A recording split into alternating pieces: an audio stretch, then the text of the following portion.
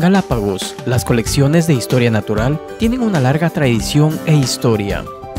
Desde la primera visita a las islas por el famoso científico Charles Darwin y otras expediciones científicas que colectaron muestras de varios organismos para documentar la biodiversidad única de este lugar.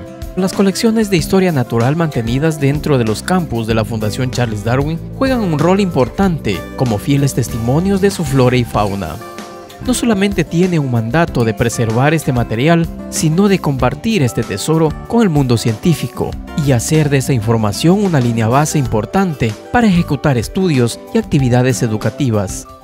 Todos los especímenes son cuidadosamente organizados entre cuatro colecciones de historia natural de Galápagos, las colecciones botánicas en el herbario, la colección de invertebrados terrestres, la colección de organismos marinos y la colección de vertebrados terrestres requieren condiciones ambientales controladas de temperatura, humedad y control de plagas. Además se puede explorar el portal del Datazone, que está dentro de la página web de la Fundación Charles Darwin.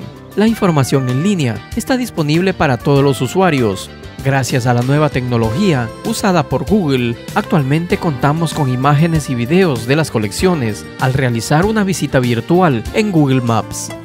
La responsabilidad de conservar y preservar las colecciones de historia natural de Galápagos no es tarea fácil para la Fundación Charles Darwin, cuyo presupuesto depende de donaciones.